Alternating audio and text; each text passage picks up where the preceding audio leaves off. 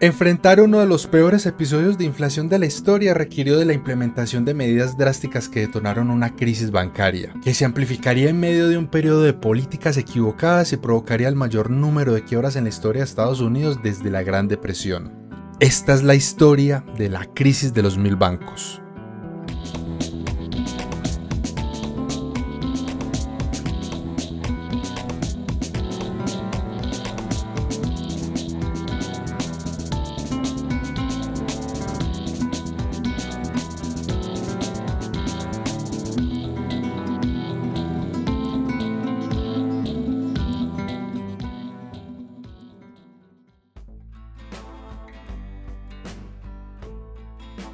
Los bancos de ahorro y préstamo, conocidos en inglés como TRIPS o S&Ls, son instituciones que surgieron en Inglaterra a finales del siglo XVIII como cooperativas sin ánimo de lucro, que tenían como objetivo hacer un bien social ayudándole a sus miembros a comprar su propia casa. A grandes rasgos, los bancos de ahorro y préstamo funcionaban de una manera similar a los bancos tradicionales. Recibían depósitos por los que pagaban un interés y lo prestaban principalmente para créditos hipotecarios a una tasa mayor, con la diferencia siendo usada para pagar sus operaciones. Durante el siglo XIX el crecimiento urbano en Estados Unidos incrementó el número de estos bancos, pero también cambió su naturaleza, siendo privados y con ánimo de lucro. Y al igual que muchas instituciones financieras, estos bancos se vieron en serios problemas durante la Gran Depresión y comenzaron a ser regulados de una manera más estricta. Uno de los principales cambios fue limitar los intereses que se le permitía pagar a esas instituciones por los depósitos que recibían, ya que muchas de ellas habían incrementado de manera notable estos intereses para atraer depósitos de sus competidores, pero para poder ganar dinero entonces tenían que incurrir en prácticas más riesgosas y con una rentabilidad esperada más alta,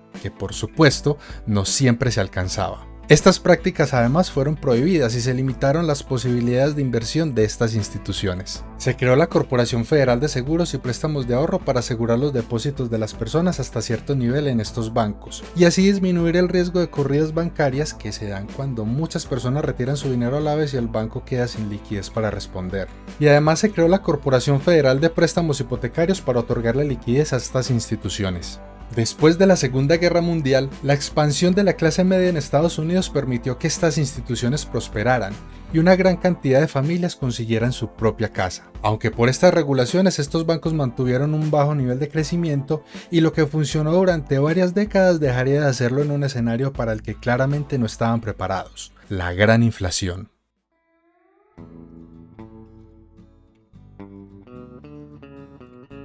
Cuando la Segunda Guerra Mundial estaba llegando a su final, 44 países se reunieron en Bretton Woods para acordar el nuevo sistema monetario que funcionaría ahora que el patrón oro clásico había llegado a su final. El principal acuerdo sería que el dólar estaría respaldado por oro a una tasa de cambio de 30 dólares por onza, y que cualquier país con dólares podía reclamar este oro. Lo que inicialmente funcionó bien y le dio una gran estabilidad al sistema, comenzó a tener problemas cuando Estados Unidos incurrió en grandes déficits presupuestales por las diferentes guerras relacionadas con la Guerra Fría, la carrera espacial y los programas locales como Great Society. Además de grandes déficits comerciales cuando el mundo terminó de reconstruirse después de la guerra y el comercio internacional incrementarse. Esto ocasionó en última instancia la creación de una gran cantidad de dólares para los que no había suficiente oro como respaldo, y con estas reservas de oro bajando además de manera acelerada porque los otros países continuaban intercambiando dólares por oro. Esto llevó a Nixon a anunciar el final del respaldo en oro de los dólares americanos el 15 de agosto de 1971, y el país entró en una profunda inflación que durante la década de los 70 se vio amplificada por la crisis energética.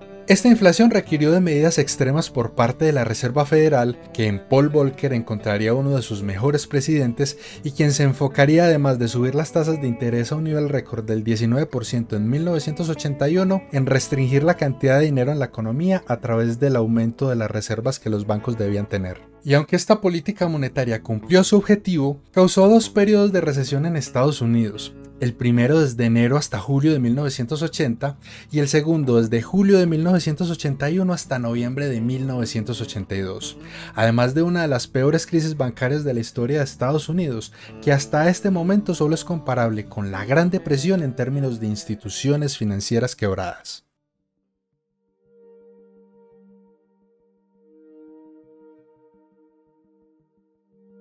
Cuando la Reserva Federal comenzó a subir las tasas de interés para combatir la inflación, los activos de instituciones como los bancos de ahorro y préstamo, que se componían principalmente de créditos hipotecarios y bonos del tesoro de largo plazo, comenzaron a perder la mayor parte de su valor. Además, con el aumento de intereses que pagaban otras opciones, estos bancos vieron una enorme salida de depósitos, que llevaron al presidente Jimmy Carter a aprobar el DIDMCA en 1980, con el que se les permitía a estas instituciones aumentar el interés que pagaban en los depósitos. Sin embargo, para 1982 estas instituciones estaban teniendo pérdidas anuales de 4 mil millones de dólares, que llevaron a la desaparición de prácticamente todo el capital que tenían y entraron en insolvencia. Pero como la Corporación Federal de Seguros y Préstamos de Ahorro no tenía suficientes fondos para cubrir a los depositantes y estas instituciones cerraban, se les permitió continuar existiendo con la esperanza de que el problema del mercado fuera pasajero y pudieran recapitalizarse eventualmente. Pero la situación empeoraría cuando en 1982 Ronald Reagan aprobó el Guard-Saint-Germain Act,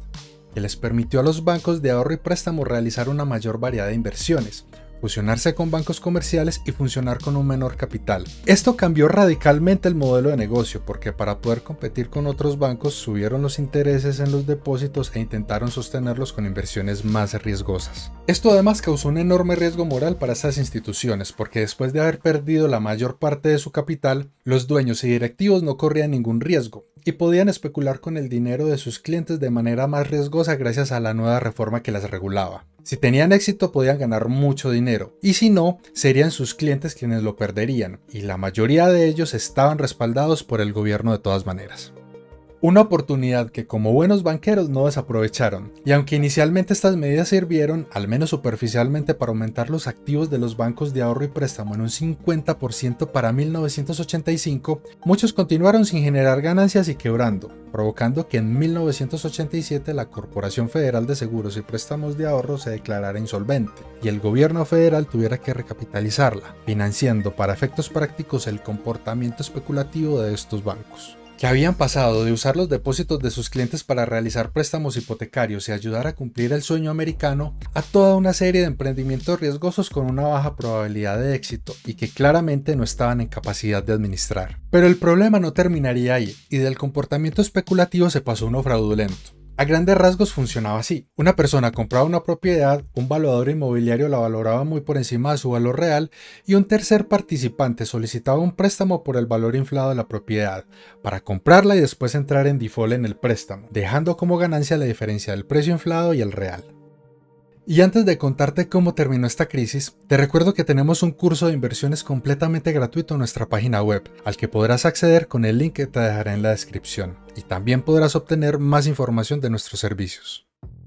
Para solucionar esta crisis, el gobierno aprobó en 1989 el Financial Institution Reform, Recovery and Enforcement Act, con el que se volvía a regular estas instituciones, limitando las inversiones riesgosas, estableciendo capitales mínimos requeridos iguales a los de los bancos comerciales, aumentando las primas de seguros de depósitos y eliminando la Corporación Federal de Seguros y Préstamos de Ahorro, con los seguros pasando a la FDIC, que ha sido la encargada de asegurar los depósitos de los bancos desde la Gran Depresión. Además, se creó la Resolution Trust Corporation con el objetivo de liquidar las instituciones financieras fallidas. Para inicios de los 90 la crisis bancaria estaba pasando, no sin que antes la Resolution Trust Corporation hubiera liquidado más de 700 bancos de ahorro y préstamo, y más de mil hubieran fallado en total, generando costos de cientos de miles de millones en dinero de impuestos y contribuyendo además a la recesión de 1990, haciendo que esta crisis bancaria pasara por tres recesiones y se extendiera por más de 10 años, convirtiéndola en una de las más largas de la